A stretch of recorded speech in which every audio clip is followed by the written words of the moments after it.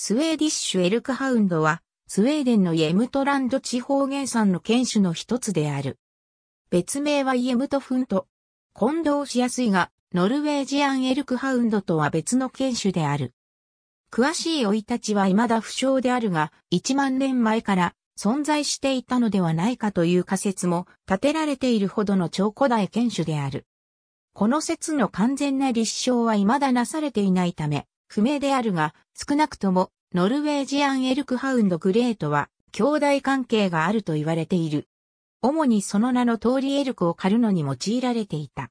主人とペアになって、エルクの匂いを追跡し、発見すると自ら飛びかかって、髪留めを行う。そのまま仕留めることも容易にできるが、場合によっては主人に留めをさしてもらうこともある。エルク狩りのほか、犬ぞりを引くスレッダーとして主人を運搬したり、番犬として不審者の到来を主人に知らせることにも用いられていた。もともとは各国のケネルクラブにノルウェージアンエルクハウンドグレート同種であるとして登録されていたが、1946年に愛好家が両種の違いを訴え、調査の結果完全に別種であることが公式に承認された。それを受けて各国ケネルクラブは領主をそれぞれ個別の犬種として登録し直し、国際地区犬団体もその流れに従い、公認状況を修正した。現在も多くの犬はスウェーデン国内で飼育されていて、猟犬としてだけでなく、ペットやショードッグとしても人気が高い。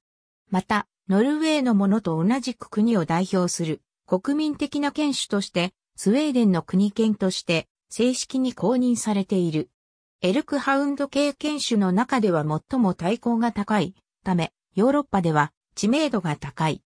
しかし、ヨーロッパ以外では、ノルウェージアンエルクハウンドと混同されることがよくあり、知名度はそこほど高くはないのが現状である。ダオ個体、ノルウェージアンエルクハウンドグレーと比べると足が長く、巨大な印象を受けやすい。日本犬のようなスピッツタイプの犬種で、筋肉質の引き締まった体つきをしている。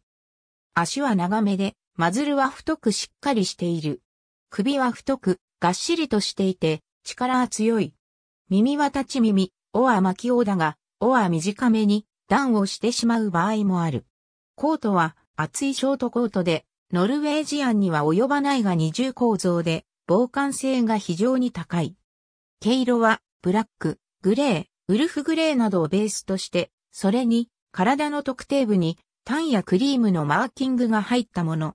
体高58から64センチメートル、体重29.5から30.5キログラムの大型犬で、性格は主人家族に友好的で優しく従順だが、勇敢で警戒心が強い。